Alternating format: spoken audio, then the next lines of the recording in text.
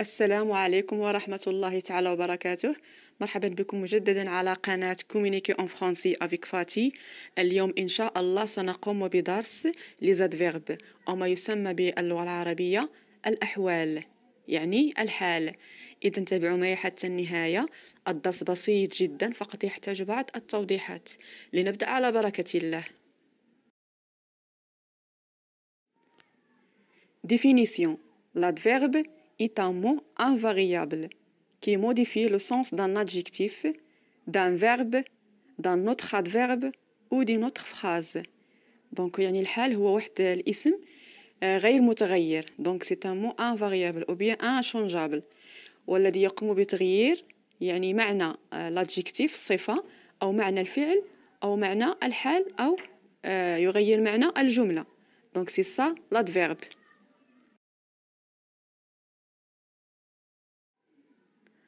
On passe maintenant à expliquer les formes. Alors, il existe différents types d'adverbes. On a les adverbes de temps, exemple aujourd'hui, bientôt, souvent, toujours, demain, hier, etc. Et on a les adverbes de lieu. Ici, là, là-bas, loin, ailleurs, partout, dessous. Les adverbes de quantité. Très, peu, plus, beaucoup, assez, moins. Les adverbes de manière. Vite, bien, mal, lentement. Adverbe de négation. Ne pas, ne plus, ne jamais.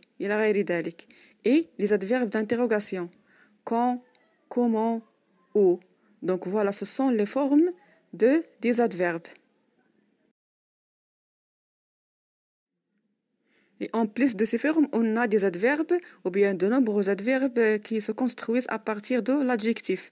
إذا هذا هو الدرس ديالنا ديال هذا النهار غادي نشوفوا يعني كيفية صياغة الادفيرب من انطلاقا من l'adjectif أو انطلاقا من الصفة.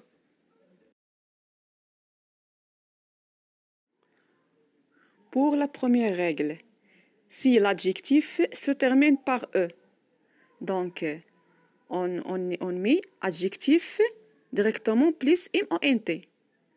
Exemple général, regardez, il y a E à la fin. Donc, on a ajouté MONT. Donc, généralement.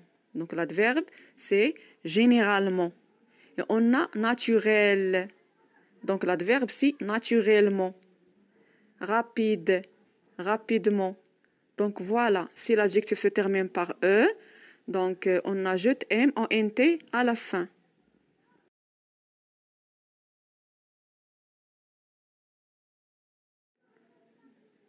Deuxième règle, si l'adjectif se termine par une consonne, donc on met adjectif plus E plus MONT.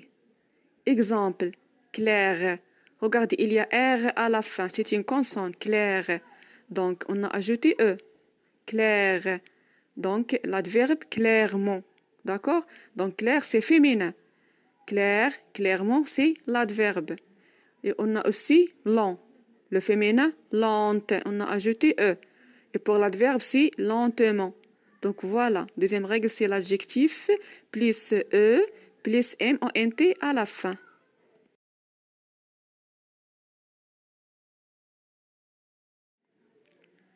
Troisièmement, si l'adjectif se termine par ANT ou ONT à la fin, donc s'il y a ANT, donc, on supprime ANT et on ajoute A deuxième ONT. Ici, à la fin, il y a ONT. Toujours, on supprime ONT et on ajoute E deuxième ONT. Exemple, élégant. Donc, regardez, il y a ANT à la fin. Donc, on, on efface ANT et on ajoute A deuxième ONT. Donc, élégamment. D'accord? Et on a aussi prudent. Toujours, il y a ONT à la fin